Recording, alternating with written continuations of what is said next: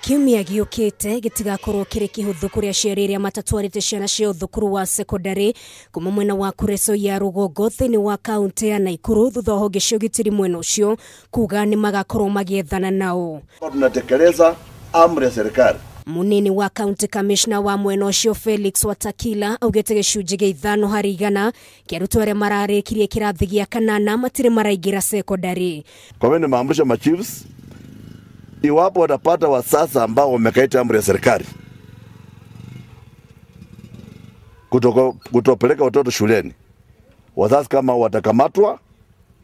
na washtakiwa kwa mujibu wa sheria, na hii itakuwa funzo kwa wengine. kuringana na watakila nä kä hoto kä a må rutwo wothe guthoma akiuga gä boko kä ao megåkorwo magä kå rä aciari Serikali ya Kenya imetolea kuona kwamba kila mtoto wa Kenya anapata nafasi kwenda shule, na ni haki ya kila mtoto wa Kenya kwenda shule, msichana kwa mfulana. ningä no ahete må kana aciari arä a makoretwo magä ikaria ciana mä ciä na kå mahe mawä ra ta kwendia thoko akiuga å ndå å yå ndå gå korwo werwo na njä ra hå thå Jukumu yetu ni kutetea haki na maslahi ya watoto wa Kenya bila mapendeleo. Wale wazazi watapatikana ya kwamba wanapeleka watoto wao kwenda kuuza njuku, wengine kuuza pombe, wengine kuuza ndizi kwa soko,